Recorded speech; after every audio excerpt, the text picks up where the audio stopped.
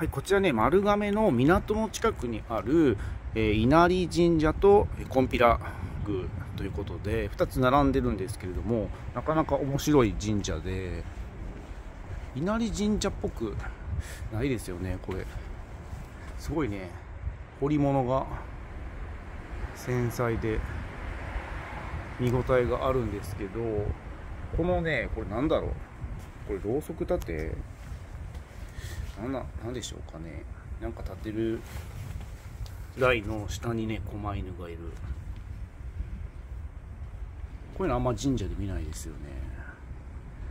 なんか、どっちかというとお寺っぽい感じの、なんかこれね、ろうそく立てみたいな、ろうそくっていうか線香立てみたい。あ、線香立て、え、線香立てなんていうの？線香立てか。神社で線香って立てましたっけ？こちらが稲荷神社で隣のね金毘羅宮もなかなか面白くて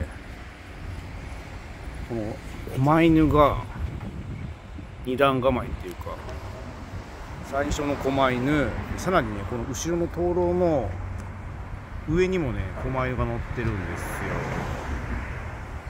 これなかなかこんなん初めて見ましたね。徳島県の岩坂神明神社にはあの部分にウサギが乗ってるんですけど。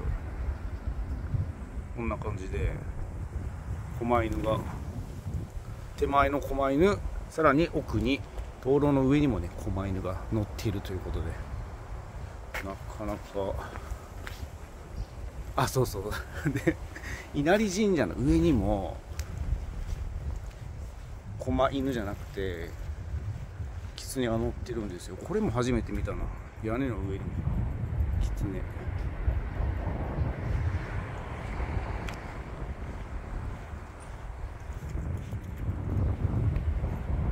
めっちゃ怖そう。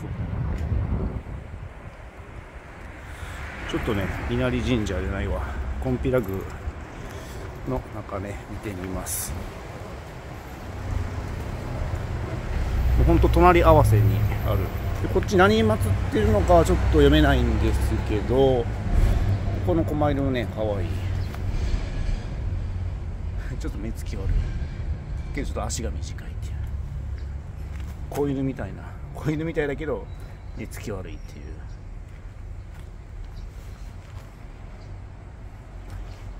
これ石垣がなかなか立派ですよね。何を祀ってんのかな？読めへん。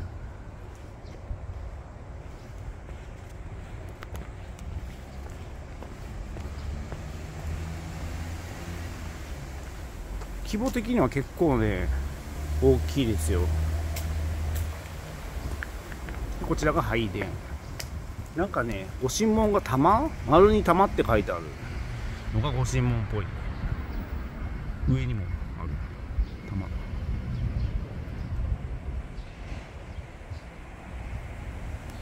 すごい立派。大きなね灯籠が。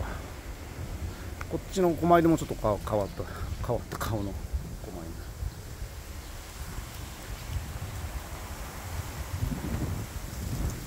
犬角付き。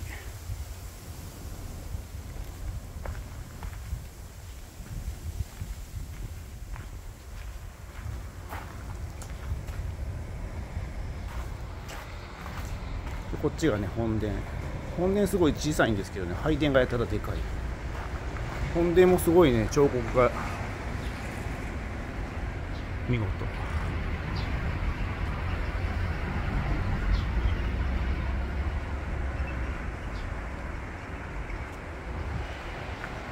もうねこの裏が港です。港でございます。